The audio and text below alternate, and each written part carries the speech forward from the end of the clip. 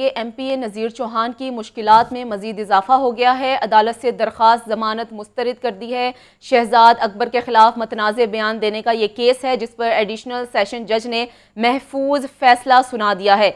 ये खबर है जिसके बारे आगाह कर रहे हैं M P A Nazir Chauhan की मुश्किल में मजीद इजाफा हो गया है। अदालत से दरख्वास्त जमानत मुस्तरद, शहजाद अकबर के खिलाफ मतनाज़ बयान देने का ये केस था जिस पर एडिशनल सेशन जज ने महफूज फैसला सुना दिया है। ये खबर है जो आप तक पहुँचा रहे हैं। M P A Nazir Chauhan की मुश्किल में मजीद इजाफा हो गया है। शहजाद अकबर के खिलाफ मतनाज़ बयान देने का ये केस था। अदालत से दरख्वास्त जमानत मुस्तरद कर दी है। अदालत ने एडिशनल सेशन जज ने महफूज फैसला सुना दिया है। ये ब्रेकिंग है जो आप तक हम पहुँचा रहे हैं। M P A Nazir Chauhan की मुश्किल में मजीद इजाफा हो गया है। अदालत ने दरख्वास्त जमानत को मुस्तरद कर दिया है। शहजाद अकबर के खिलाफ मतनाज़ बयान का ये केस था जो कि M P A Nazir Chauhan की जानब से दिया गया। एडिशनल सेशन जज ने महफूज फैसला सुना दिया है।